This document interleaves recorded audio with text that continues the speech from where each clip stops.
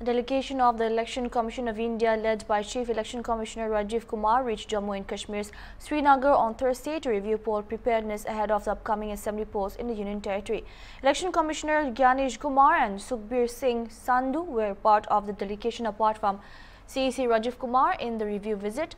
As part of the review process, the ECI delegation will meet with the various stakeholders including officials and leaders of different political parties in the UT. On June 21st, the ECI initiated the preparations for forthcoming state assembly elections in the states of Haryana, Maharashtra and Jharkhand with the updation of the election rolls in these states, WRT July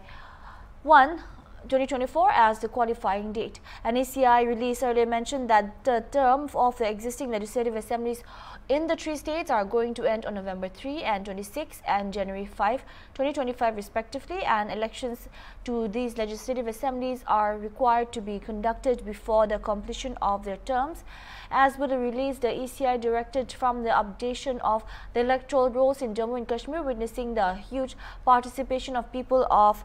Jammu and Kashmir in the recently concluded Lok Sabha elections.